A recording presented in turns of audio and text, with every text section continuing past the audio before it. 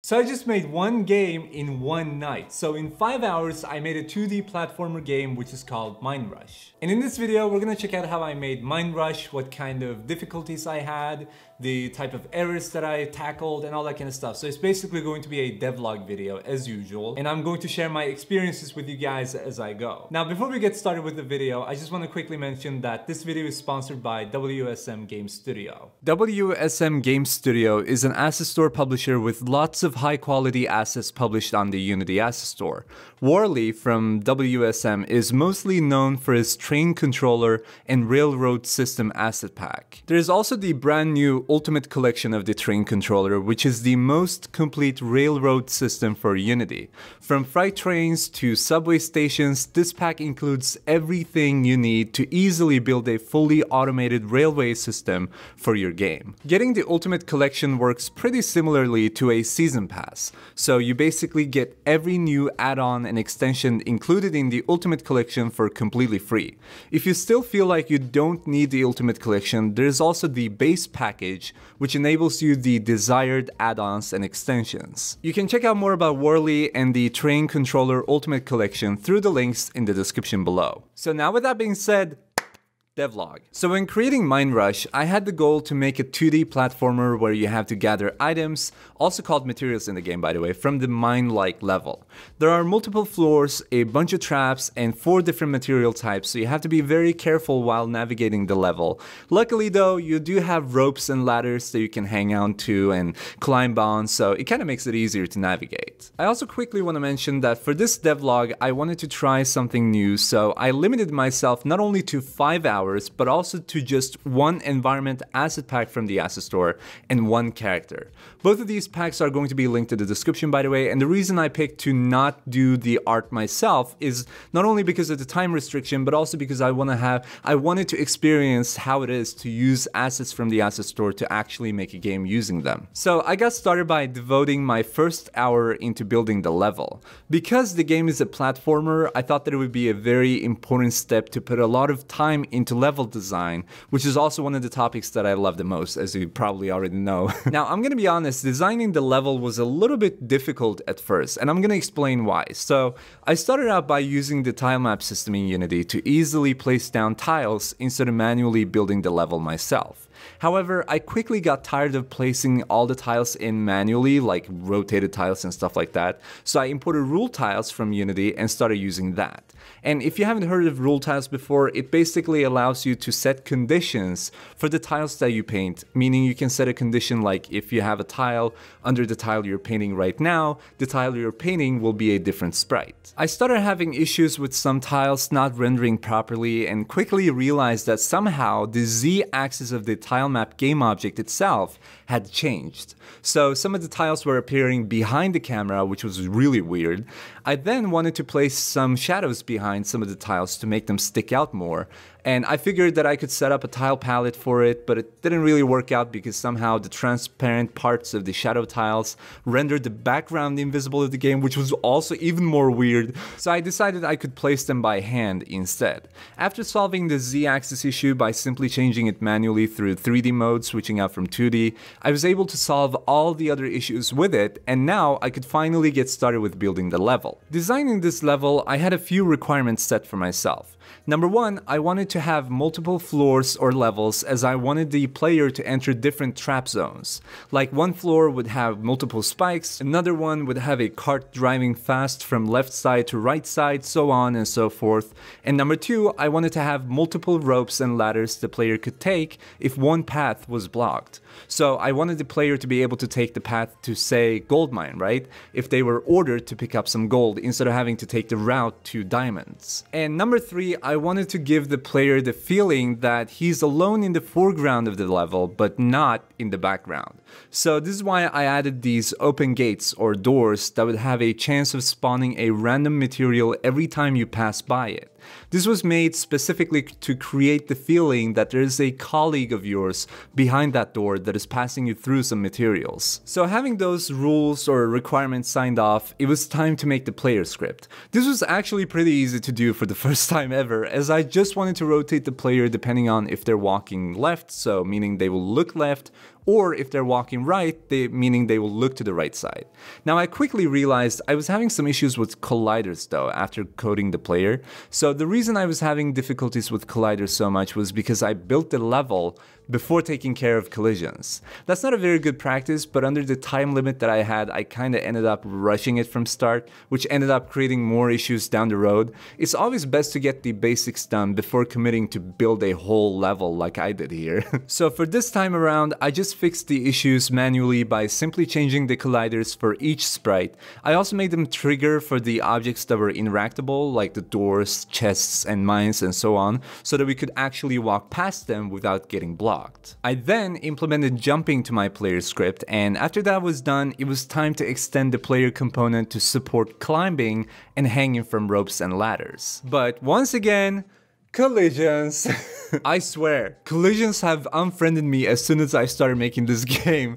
It was so bad. Collisions were being a pain in the neck again when I was doing the rope thing, and I lost so much time on it trying to figure out how to solve it. It just didn't make any sense because I was doing the right things, or at least I thought so.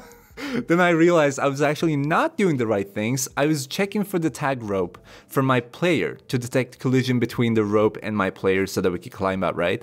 and I never set the tag rope for the rope object, I accidentally created a layer for the rope instead of a tag. Can someone just put me out of my misery, please? See, even people who have been using Unity for so long can make beginner mistakes, so I'm, I'm using that as an excuse to cover up the fact that I was just being dumb. After that problem was fixed, or I was fixed, I added some shadows to the foreground behind the ropes to make sure that it's clear enough for the player that they can climb up in front of the tiles. It also made it look really nice actually, so I'm very happy with that decision. And now I was at a point where the player controller was finished, it was fully properly functioning, hanging and climbing from ropes and ladders worked, and the level was also pretty much finished. So it was awesome, right? And now was the time to get into a little bit more advanced stuff. So First things first, I wanted to make the doors functioning. So I started coding the material spawn system, which I also call the item spawn system, in a script that is called the material manager. I then created a game manager object and stored the material manager on this game manager. And then I created a material spawn source, which would be the spawn point of our materials, like the doors, chests, and mines, and so on. After assigning all the properties in these components, I was pretty confident things were gonna work out. So I play the game game and this happens. Uh, oh, and Unity cry. All right, okay, so Unity, okay, good, nice. This is exactly what I needed. So looking back at the code, I'm not very proud of this, but apparently I was checking for the other object colliding with the door, which obviously is the player, right? Then I was attempting to spawn the player infinitely, which explains why Unity crashed, right? It literally bailed on me. So after restarting Unity and doing it all again, I created a function in the material manager to pick a random material that it would spawn. I then added the component to all material spawn sources, created a condition to randomize how big of a chance there is that the source the material, and got started on the stash system finally. It was actually quite easy to make the stash system, so this just basically allows the player to stash their items for whenever the card is coming to pick them up. I also had to make sure that the player could pick back up the items they stash, so they can put it somewhere else and reorganize and stuff like that. I then also added spikes into the game which would result in game over if you collide with them, and then I reworked the level a little bit to open up the spot for the cart to arrive because it was kind of crowded at the bottom level. Then I made a cart system. So now the cart would arrive every 30 seconds and give you 45 seconds to make sure the delivery is there. If you cannot deliver all items, you will get 25 points for per item if they're incorrectly sorted compared to the order list. If the item is sorted correctly, so if it says the first stash is supposed to hold gold and you actually place a gold there, then you will receive 75 points for that item. And if you deliver all items as ordered, you will get 200 points as bonus. To make clear what the order list was, I created a simple UI for displaying the list, which would appear at the top of the screen and update every time the cart would departure with the deliveries. As the last feature of our game of Mine Rush, I added the cart of death on the fourth floor, which is the cart that, that will drive by real fast every 10 seconds, moving from left to right, and if the player gets hit, game over, obviously. And finally, I made some refinements to pretty much all values, including how often the cart arrives, how fast the player moves, the collisions for the spikes, the movement speed of Cart of Death, and so on. Literally all the values you can think of. I filled in at around 5 hours and 11 minutes and decided to stop working from that point on because I was getting really hungry. now, looking back at it, I had a fully and properly functioning game which was actually pretty fun to play. And honestly, it's actually pretty good for 5 hours, uh, but that's not to say that it couldn't be better, you know what I mean? I think I could have made it a lot better if I didn't lose so much time at the start on collisions and stuff like that, but that's fine. It's a part of the experience anyway. So that's pretty much it for this video. Hope you all enjoyed watching. I think it's really entertaining to make these and they should be entertaining to watch as well because I know for myself that I like watching these devlog videos. And at the same time, they're also helpful because I kind of share my experience with you guys and you can see how I make a game, how the process looks like. Now, if you guys enjoyed watching this and want to see more devlog videos on this channel, make sure to give this video a thumbs up to show some support because it helps a lot. And also hit the subscribe button below the video to stay up to tune for new content. And for those of you who didn't know, we also have a Discord server for game development and for Sykoo, so for this community. You can join us by going to the link discord.gg forward slash polyround or use the link in the description. We're basically just a bunch of like-minded people that like to chat, you know, meme, a lot of memes by the way, um, have fun, you know, complain about YouTube, literally anything you can imagine. but mostly talk about game dev, trust me. And before ending this video, I would also like to give a huge shout out to all of our Patreons, Richard Stans, Cupola, Flu Joey, academyofgames.com, terrorift.com, John Funnel Grid, Couch Ferret, Glasswell Entertainment, and Beat or Die. Thanks to your support on Patreon, I'm able to make more videos. Also, exciting announcement. So this week I'm gonna be in GDC or at GDC in San Francisco with Unity. So I'm gonna make some videos there. I'm gonna do some vlogging.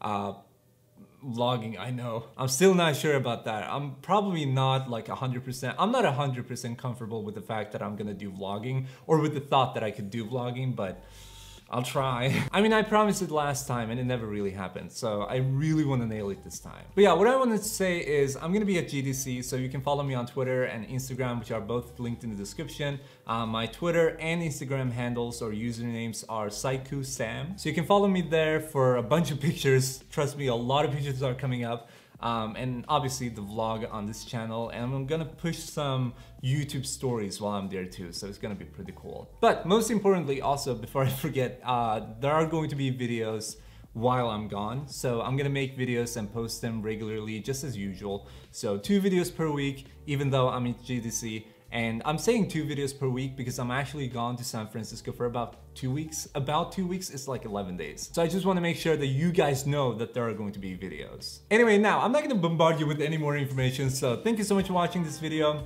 Hope you enjoyed. Um, I'm gonna be super active in the comment section and in our Discord server, so hope to see you guys there. And thanks for watching once again, and have a good night, and peace out.